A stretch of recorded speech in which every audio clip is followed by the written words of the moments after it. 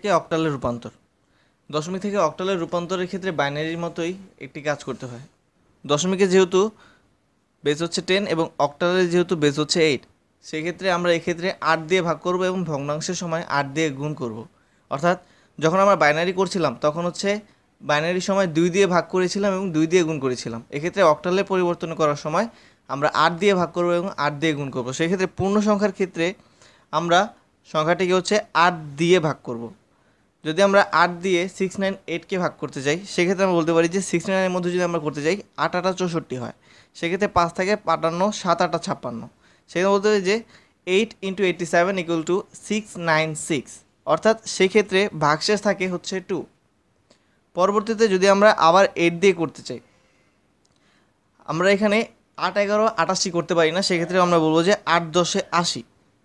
আট দশে আশি করলে এখানে ভাগশেষ থাকে হচ্ছে সেভেন আবার যদি আমরা আট দিয়ে করতে চাই, আট একে আট, সেক্ষেত্রে ভাগশেষ থাকবে হচ্ছে দুই। এক্ষেত্রে আট আট শূন্যতে শূন্য, সেক্ষেত্রে ভাগশেষ থাকবে হচ্ছে এক। এখানেও একই রকম, উপর থেকে নিচের দিকে, অর্থাৎ এম এস বি থেকে আমরা এল এস বিতে যাব। সেক্ষেত্রে এই পূর্ণ সংখ্যাটির অক্টাল রূপ হবে ওয়ান, টু, সেভেন, টু। যদি এখন আমরা ভগ্নাংশের দিক দিয়ে করতে চাই, ওই পূর্বের অঙ্কগুলোর মতোই এক্ষেত্রে আমরা দশমিক থেকে অক্টালে করার সময় ভগ্নাংশ সংখ্যার ক্ষেত্রে আট দিয়ে গুণ করব। অর্থাৎ জিরো পয়েন্ট এইট ফোর টুকে আমরা গুণ করব আট দিয়ে।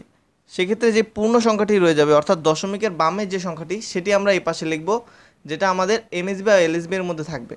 বাকি সংখ্যাগুলো আবার ভগ্নাংশের মাধ্যমে গুণ হবে।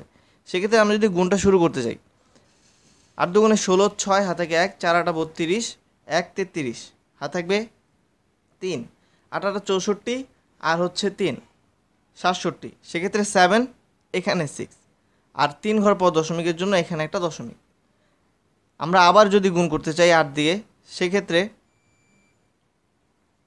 ছয় আটা আটচল্লিশের আট, হাত থেকে চার। তিন আটা চব্বিশ আর চার আঠাইশের আট, হাত থেকে দুই। সাত আটা ছাপ্পান্ন আর দুই হচ্ছে আঠাইশ সেক্ষেত্রে থাকবে হচ্ছে পাঁচ। অর্থাৎ পাঁচ। আমরা যদি এখানে রেখে দিই, সেক্ষেত্রে আমরা বলতে পারি যে উপর থেকে নিচের দিকে যাবে। ভগ্নাংশ সংখ্যা থেকে উপর থেকে নিচে এবং পূর্ণ সংখ্যার ক্ষেত্রে নিচ থেকে উপরের দিকে। অর্থাৎ এখানে উপরের দিক হচ্ছে এমএসবি আর নিচের দিক হচ্ছে এলএসবি অর্থাৎ ভগ্নাংশের ক্ষেত্রে জিরো পয়েন্ট এইট ফোর টুকে আমরা যদি রূপান্তর করতে চাই, সেক্ষেত্রে আমরা বলতে পারি যে সিক্স ফাইভ সামথিং এইট যেহেতু এখানে এইট ফাইভ সিক্স ফাইভ কখনোই সমাপ্ত হবে না, অর্থাৎ এই যেহেতু এখানে কখনোই শূন্য আসবে না, সেক্ষেত্রে আমরা এটা সিরিয়ালি করে যেতে পারি। সেক্ষেত্রে সিক্সের পর সিক্স ফাইভের পর অনেকগুলো আসতে পারে। এখন আমরা আরেকটি উদাহরণ দেখে নিই। এখন যদি একটি সংখ্যা এরকম দাঁড়ায় যে একটি পূর্ণ সংখ্যা এবং দশমিক সংখ্যা একসাথে দেওয়া আছে, সেক্ষেত্রে আমরা আবার পূর্বের অঙ্কগুলোর মতোই প্রথমে আমরা পূর্ণ সংখ্যাটুকু করব, তারপর হচ্ছে ভগ্নাংশ সংখ্যাটুকু। তারপর সবগুলো মিলিয়ে আমরা একটা বাইনারি সংখ্যা বা অক্টাল সংখ্যাটি লিখে ফেলব। তো থ্রি ফাইভ নাইন এই সংখ্যাটিকে যদি আমরা আট দিয়ে ভাগ করতে চাই, সেক্ষেত্রে আমরা প্রথমে চারাটা বত্রিশ, তিন থাকবে, আর হচ্ছে চারাটা বত্রিশ। সেক্ষেত্রে আমরা বলব যে আট into eighty eight into forty four equals to three five two সেক্ষেত্রে থ্রি ফাইভ নাইন এবং থ্রি ফাইভ টু এর মধ্যে পার্থক্য হচ্ছে সেভেন। সেক্ষেত্রে আমাদের অবশিষ্ট বৃত্তি হবে সেভেন। আবার যদি আমরা আট দিয়ে করতে চাই, পাঁচ, আটা, চল্লিশ। সেক্ষেত্রে চল্লিশ এবং চৌচল্লিশের মধ্যে যে পার্থক্যটা, অর্থাৎ ভাগশেষ যেটা থাকবে, তা হচ্ছে চার। এইট দিয়ে যদি আমরা পাঁচ দিয়ে ভাগ করতে চাই তাহলে আমরা পাঁচকে ভাগ করতে পারব না। সেক্ষেত্রে আমরা যেটা করব যে, eight, zero zero. Eight into zero equals to zero অর্থাৎ সেক্ষেত্রে ভাগশেষ থাকবে হচ্ছে পাঁচ। এক্ষেত্রে আমরা আগের, আগেরটার মতোই নিচ থেকে উপরের দিকে হবে আমাদের এম থেকে এল অর্থাৎ এক্ষেত্রে থ্রি ফাইভ নাইন এই সংখ্যাটুকু শুধুমাত্র যদি আমরা অক্টাল রূপান্তর করি, তাহলে সংখ্যাটি দাঁড়াবে ফাইভ ফোর সেভেন এখন যদি আমরা ভগ্নাংশ সংখ্যাটুকু করি জিরো পয়েন্ট ফোর টু এই সংখ্যাটুকু, তো সেক্ষেত্রে আমরা এটাকে যদি আমরা আট দিয়ে গুণ করি, তাহলে সংখ্যাটুকু দাঁড়াবে আট দুগুণে ষোলোর ছয় হাত থেকে এক চারটা বত্রিশ, আর এক হচ্ছে তেত্রিশ। এখন, কীভাবে আমরা বুঝব যে কোনটা আমরা এ পাশে লিখব আর কোনটা এ পাশে? এখন কথা হচ্ছে, দেখো, এখানে দুইটা সংখ্যা আছে মানে দশমিকের পর দুইটা সংখ্যা, তাহলে আমাদের গুণের পরও তো দুই ঘর পরই হচ্ছে দশমিক থাকবে। সেক্ষেত্রে এক, দুই। এ ঘর পর দশমিক। তো দশমিকের এই পাশে যে সংখ্যাটা থাকবে, সেটা হচ্ছে আমাদের বাইরের অংশটুকু।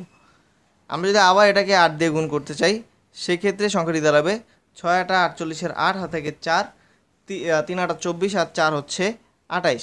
হাত থাকবে দুই। সেই দুইটা হচ্ছে এখানে, যেটা হচ্ছে বাড়তি। তো অর্থাৎ আমরা বলতে পারি যে জিরো পয়েন্ট ফোর টু এই সংখ্যাটুকুর জন্য অক্টাল সংখ্যাটুকু দাঁড়াবে উপর থেকে নিচ দিকে, অর্থাৎ উপর থেকে হচ্ছে এমএসবি নিচ থেকে হচ্ছে এলএসবি অর্থাৎ থ্রি টু এইট এখন আমরা সম্পূর্ণ বলতে পারি যে three five nine point four two ten এই সংখ্যাটুকুর পুনরূপ হচ্ছে five four seven point three two এখন এখানে আমরা শেষ করতে পারি যে থ্রি টু এইট কিন্তু একটা কথা হচ্ছে যে আমরা এখানে কখনোই শূন্য পাইনি। সেক্ষেত্রে আমরা যদি এটাকে আরও বেশি বাড়াতাম মানে হচ্ছে তিন ঘর অথবা চার ঘর পর্যন্ত নিয়ে যেতাম, তাহলে আমরা এখানে আরও কিছু সংখ্যা পেতাম। সেক্ষেত্রে আমরা এখানে ডট ডট দিয়ে যাব, যাতে বোঝা যায় যে এখনও এটা শেষ হয়নি।